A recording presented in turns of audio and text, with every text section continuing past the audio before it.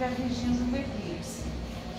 É, esse eclipse é, vai regir até o próximo eclipse, com certeza, seis meses. Segundo alguns astrólogos, o prazo de um eclipse é um ano e meio.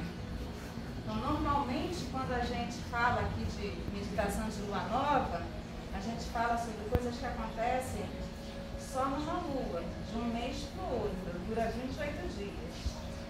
E hoje o que a gente está falando é sobre um tipo de energia que vai continuar, vão ter várias luas e isso vai ficar como um pano de fundo e vai estar atuando durante um ano e meio.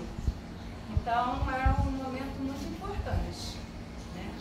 Então quais são as energias que estão favorecidas? Bem, em primeiro lugar, Sagitário é